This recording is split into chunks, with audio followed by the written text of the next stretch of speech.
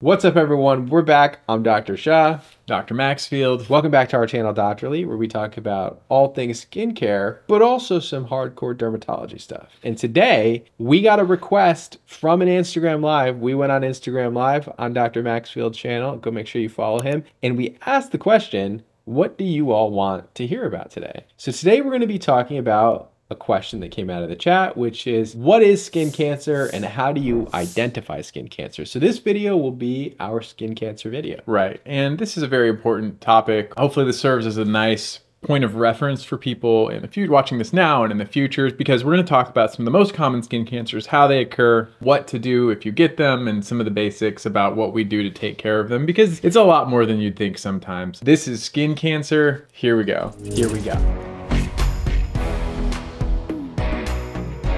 Skin cancer. I personally had skin cancer. We maybe have mentioned it in YouTube videos before. Early in my dermatology residency, I noticed that I had a pink bump that was growing on my chest, and I never really had anything like it. It didn't go away. It wasn't getting any bigger and it actually itched a little bit. It was like a little bit like I noticed it was there. And then suddenly it started to become a little bit unlike the rest of my skin meaning that it, when it would get irritated, it would actually start to bleed a little bit. So I was like, this is kind of weird. Let's go get it checked out. I showed it to Dr. Maxfield, said it was nothing, and uh, I just went on with my. No, what ended up happening was I showed it uh, to some of my colleagues around, and I had suspicions that it was skin cancer, but I couldn't like really see closely based on the location. They looked at it with the dermatoscope, and they said, actually, we're not sure, but we're gonna biopsy it. They biopsy it, it comes back, and it ends up being a basal cell skin cancer. So let's form a hierarchy first. There are three main types of skin cancer that you hear a lot about. Now, with recent headlines, Merkel cell carcinoma is also something people are talking about more frequently. Let's focus on the top three because those are the ones that most of you will encounter either in your own lives or you'll have a friend or a family member that develops one of these in their lifetime. So the three main causes of skin cancer are basal cell skin cancer, squamous cell skin cancer, and then melanoma skin cancer. Basal cell being the least severe, squamous cell being the second least or middle severe or more severe, and then melanoma being the most severe. And that's also the same order in which they occur. So basal cells are most common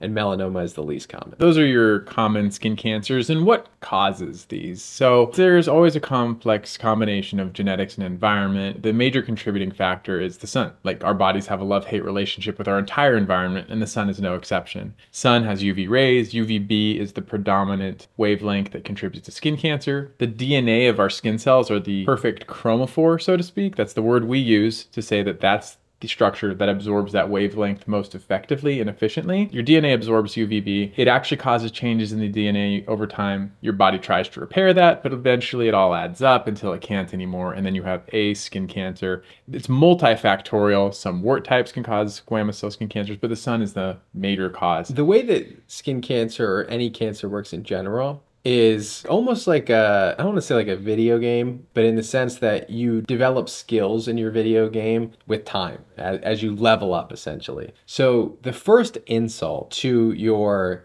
DNA could be that your skin didn't replicate the way that it was supposed to. Then the sun hits the DNA, damages it further, and it basically gets to the point where your body can't keep this abnormal cell in check. And then it starts to develop new skills with time. So every time it replicates, it starts to level up and get more skills.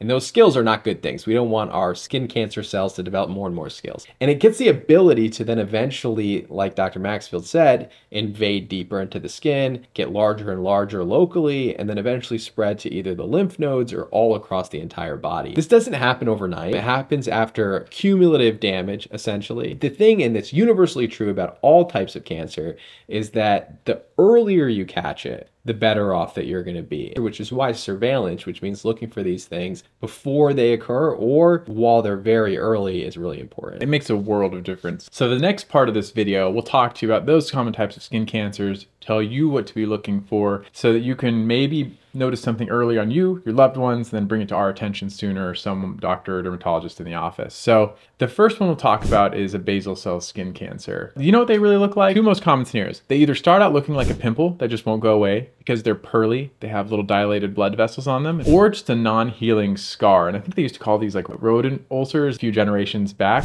but a small non-healing sore or a pimple that just doesn't go away on a sun damaged area is highly indicative of a basal cell, especially if you have a dilated blood vessel that's fairly prominent across it. They really can look like anything. Even basal cells can be pigmented to some degrees. I often see pigmented basal cell carcinomas that a lot of people would think would be a melanoma, but as soon as a dermatologist looks at it, you know right away this is a pigmented basal cell skin cancer. Invariably, like Dr. Maxfield is saying about really pretty much all forms of cancer is almost always going to be caused by the sun. Now, if you have a lighter skin tone, you're, uh, you know, Fitzpatrick type 1 and you have freckles and red hair, you're going to be higher risk of developing these forms of skin cancer. That being said, I am not any of those things and I developed a basal cell skin cancer. The good thing about basal cell skin cancer is that it's the least aggressive. So once you identify it, it's easy to treat, usually most of the time, as long as it's not too advanced and it's not in a very tricky location. But we usually just treat these with a myriad of different types of treatments. And we'll talk a little bit about how to treat these at the end, and we'll talk about how I ended up treating mine. Now let's talk about the next type of skin cancer, which is the second most common cause of skin cancer, which is squamous cell skin cancer. Right. And this type of skin cancer starts out with a precursor. So just like colon cancer, where you get these little polyps that have the potential to perhaps invade deep, continue down that cancerous route, you have these things called actinic keratoses. These are firm, fixed little scaly bumps, again on a sun-damaged background, that just don't go away. And those eventually over time accumulate mutations, accumulate cancer cells. You see it under the microscope, just goes from like a layer thick, full thickness to invasive into the skin. And then you have your squamous cell skin cancer. Again, you're looking for a non-healing sore or something thick, and scaly that's fairly firm, and they can even be a bit tender when they get thicker and cause pressure or even invade a local nerve. Now, these ones, like Dr. Shah mentioned, they are a little more aggressive than basal cells, and meaning that they have a higher risk of metastasis or spreading throughout the body, especially on the lips and the ears. Those do have a metastasis rate of up to 15% over the course of your lifetime. That is something that's very important to take care of. And again, the earlier you catch it, the much easier it's going to be to take care of it. Right. So what do you look for with this? Like Dr. Maxfield said, red, flaky, bleeding, bump that's not healing. And if you've ever seen a dermatologist and you're over the age of, let's say, 45, and they froze something and didn't explain really much what they were freezing. What most likely they were freezing was something called an actinic keratosis, which is that precursor lesion that he mentioned earlier. And the reason why we freeze these, or the reason why we treat these, or the reason why we try to prevent these actinic keratoses is because if they're left untreated, eventually over time, not tomorrow, again, these are things that have to develop a skill set to basically invade deeper and get bigger. Eventually, these actinic keratoses turn into squamous cell skin cancers and we try to treat them before they get to that point. Right. And so while the sun is the major contributing cause for these, HPV virus is another cause of squamous cell skin cancer. There are lung squamous cell skin cancers, there's head and neck squamous cell skin cancers, there's some from smoking, there's some from chewing tobacco that occur in the mouth. So it's actually a type of skin cancer that has many different causes and all those behave very differently. We're focusing on just the skin portion of the squamous cell skin cancer here. So now let's talk about the least common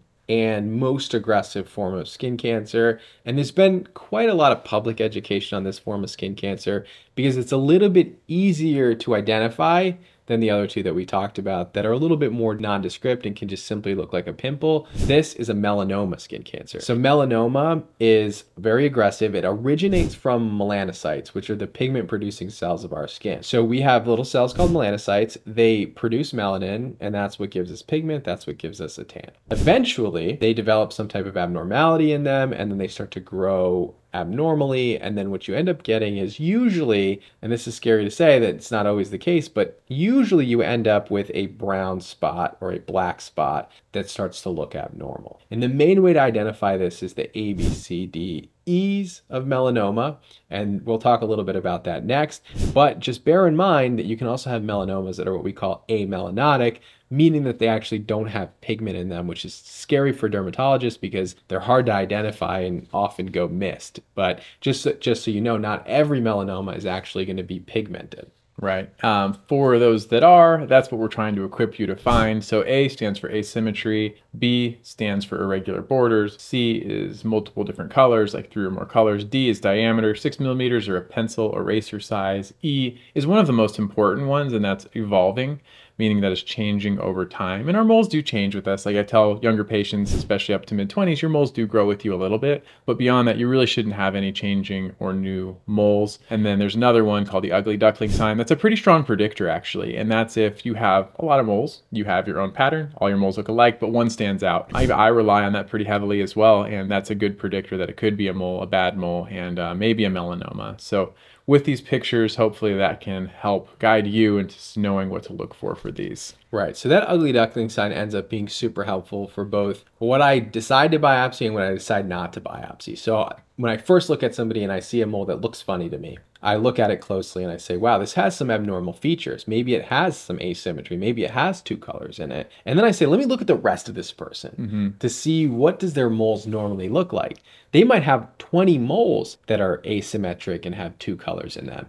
And then I say to myself, this is their signature mole. They just make moles that look funny. But they may have moles that all look the same and then all of a sudden they have one mole that's just blacker or it's it got more jagged edges and then you say this is the ugly duckling and this is the one that should be biopsied. But usually the ugly ducklings are the ones that your friends your family members your wife your husband is telling you this mole doesn't look good go get it checked out and you say no i'll wait till tomorrow. It's fine. Oh the dermatologist is booked. Oh i have to go to my primary care. This is not something to push off. If you have something that looks abnormal i really i can't tell you how many times in my career and i'm early career remember patients have come in where their wives or husbands have told them you should get this checked out. They blew it off and they came in finally to get this ugly duckling checked out and then it ended up being a melanoma. This is almost always the story story. So if you have something that looks abnormal, like I said, the earlier you catch it, the better off that you are. So just you know, take a day, take a few hours, go get it checked out, at least get the reassurance that it's either nothing or if it is something, we can biopsy and hopefully treat it if it's early enough. Yeah, that brings us to the treatment options. And we'll lump this into surgical and non surgical. And so for surgical options, we're basically trying to destroy or remove it. And for something early, depending on the severity, range from something called electrodesiccation and curettage, we basically numb it, scrape it a few layers into the skin, but not through the skin. So this is for your early skin cancers where there's not a significant depth or you're not on any sort of sensitive area. If, however, you have invasive roots, then you're going to be doing an excision or if you have an aggressive skin cancer like a melanoma, then you don't want to leave any skin behind. You want to capture it all, and so you'll do an excision where you cut through the skin. You have to take normal appearing skin to capture the microscopic cancer cells that are in the area and then convert that into a line like or curvilinear scar. For more aggressive skin cancers, then we have something called Mohs surgery, or on high risk locations like the face, hands, groin, feet, shins, where you actually cut it out look at it under the microscope while you're there to ensure the highest possible cure rate, complete margin examination, and then perhaps more complex closure, especially useful around the face where if you can't just go in a straight line. So surgically, those are your primary options for most of the common types of skin cancers. And we'll do a much more detailed video on Mohs surgery. Specifically, Dr. Maxfield does a ton of Mohs surgery in clinic. And so we even show you some videos of some Mohs surgery procedures as well. So you can see what that procedure looks like because it is different than other skin cancer procedures. Now, remember this because some of you are watching this video now because you've either been diagnosed with skin cancer or you're post skin cancer surgery and you're coming to this video now. The procedure is always going to be bigger than the initial lesion. So if you have a lesion and it's just five millimeters big, you would think, well, why wouldn't my surgery just be that big and then they close it. One, like you said, you have to take normal skin around it. And that amount of normal skin has been determined by multiple studies. We either can take a whole centimeter around the lesion, sometimes two centimeters around the lesion, sometimes just a half a centimeter around the lesion. So depending on how aggressive that initial skin cancer is, that's going to determine whether or not you're going to have a very large scar or not. And in order to close it, you can't close a circle into a line. So you actually have to take little triangles off the edge of it. And so that's another reason why your scar might actually be a lot longer than you anticipate. So I just want you to keep in mind that that's the case. Right. And that's important consideration. I always stress that to my patients because it is hard to envision ahead of time. So it's a very important thought. And then after surgeries, then you have radiation, which is always an acceptable option. This has really progressed a long way where you use superficial, very localized radiation. I know you had a lot of experience with this up at Fora Dermatology, and it's again a very cosmetically appreciable treatment and a very effective for a lot of different types of skin cancer. If, however, the skin cancer is very aggressive and it has metastasized. You have lymph node involvement, other options like immunotherapy or chemotherapy on board. And these are not the same thing. So chemotherapy is basically, it's like a nuke. You drop just something very destructive into your body. You wipe out a lot of different things and hopefully the skin cancer is a bystander that also gets hit. There is some selectivity in it, so I don't want you to think this is like thoughtless destruction because they all do have different mechanisms that are more targeted towards different things, but it is more like an overarching theme to just damage a lot of things. Cancer in general gets attacked too. Immunotherapy has revolutionized the cancer world and it can afford miraculous cures, although that's not the rule, it's still the exception. But there are a lot of different immunotherapy treatments now. We wrote a paper on one of them earlier on, and it turns on your immune system so that your immune system can attack the cancer. And there are, again, multiple different options, gene selective targeted treatments, but different things that a select person might need for an advanced skin cancer as well. We've gotten very specific with these treatments now. You can specifically treat the root mutation that is causing basal cell skin cancer when you have very aggressive basal cell skin cancers that have either metastasized or have gotten locally very, very large. I think that's beyond the scope of this video right now, but ultimately these are like the range of your treatments. You also have your topical chemotherapeutic mm-hmm. agents as well. So we have topical 5-fluorouracil. Some people refer to it as Efudex. Skin cancer is already a little bit challenging to treat at that point. Now, it's sometimes indicated for people that have very superficial skin cancers, but for the most part, this is going to be used for people that have that actinic keratosis we were talking about. So people use it as a field treatment to get rid of all that damage without individually trying to remove those one by one. Now, this type of treatment ends up causing a big red reaction on the face, but what it does is it targets those skin cells that are already abnormal and on their way to skin cancer.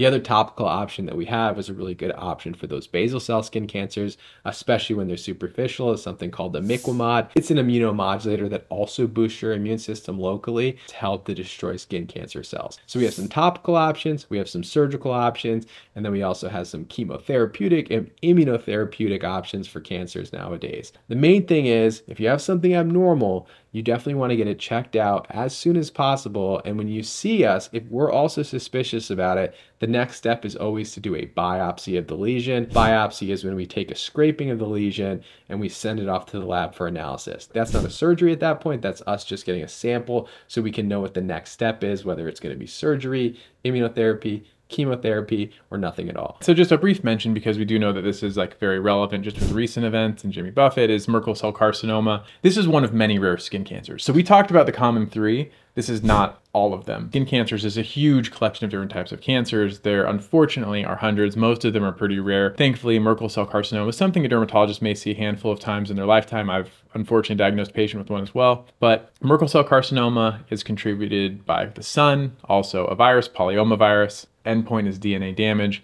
They can be particularly locally aggressive. They can also be widespread. The reason that this is a hard one to counsel on is there's not a classic clinical appearance, and we can't tell you exactly what to look for with this one. Yeah, so this is another one that can just simply look like a pimple. Um, it can be red, it can be skin colored. Um, again, it's just something that wasn't there before and that usually suddenly appeared, and usually you'll notice it before anybody else notices it. Um, and every time I've biopsied Merkel cell carcinoma, which has only been a few times, I didn't suspect it was going to be Merkel cell carcinoma, and really nobody else did. We do have a dermatologist we worked with um, that could, for some reason, pick out a Merkel cell, which is very unusual to even have that in your differential, but it is something that, that's aggressive, that can spread rapidly. I think the main thing is not to lose sleep over something like this, but that if you just have something abnormal, get it checked out, and then we'll confirm the diagnosis for you. So hopefully this collection of diagnoses, options, treatments is going to be helpful for you. Um, so whether you're wondering if you have a skin cancer or you have one and wondering what's going to happen, this can hopefully provide you some guidance. Um, but we greatly appreciate you just being a part of this with us here today. And thank you for asking us to make this video. Hopefully you find this helpful and we'll see you all in the next video. We'll see you next time.